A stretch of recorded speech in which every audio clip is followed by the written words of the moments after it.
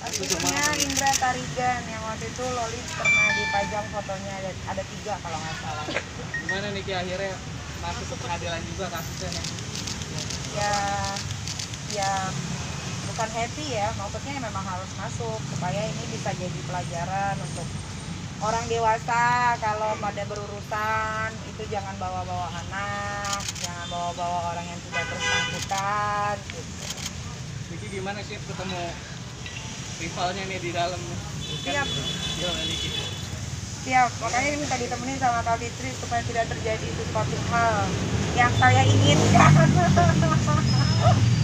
Tapi Ah, apa? Ini Apa? ajak kakak Loli Kenapa? jadi persidangan emang akan dijadikan saksi atau seperti apa sih? Persiapannya apa? Jadi kata nggak mintain keterangan persiapannya nggak ada. Loli udah udah siap dia. Karena ini yang dia tunggu-tunggu sebetulnya ya Loli. Dia mau lihat wajah yang majang fotonya. Nik, tapi ngasih ke Loli gimana sih masukannya? Ini kan pertama kali loh Loli kan ke persidangan. yang ngasih masukan Kak Fitri karena gue tuh susah bukan bukan susah komunikasi merangkai kata-katanya tuh nggak ngerti kalau untuk ngomong sama uh, Loli apalagi persidangan kan jadi kalau jadi Kak Fitri itu yang coba untuk apa kak ya pada intinya eh, ini untuk teman-teman semua ya pengguna sosial media jika kalian berselu dengan kita jangan bawa orang lain apalagi anaknya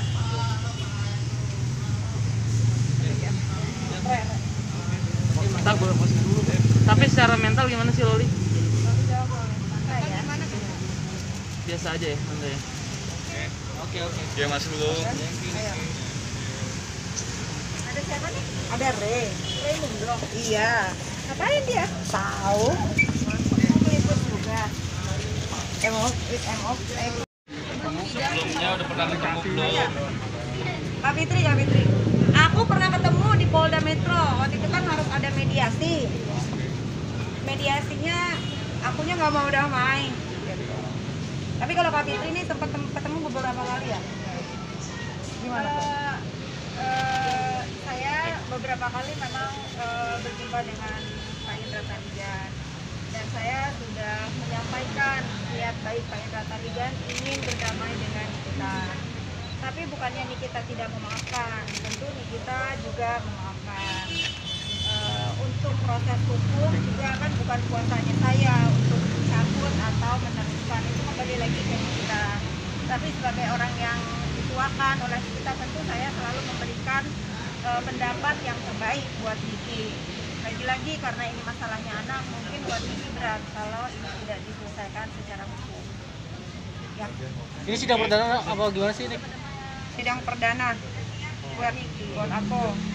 Coba tanya deh kan terdakwanya Indra Tarigan katanya juga udah sampai. Oke. Yang jadi saksi dua-duanya nih Niki sama Loli. disaksi tiga orang. Tiga orang. Ada, ada empat Siapa ya. aja mungkin? Mail, Dea, Loli, sama aku. Oh, Mail dia Loli Niki ya. Siap. Oke.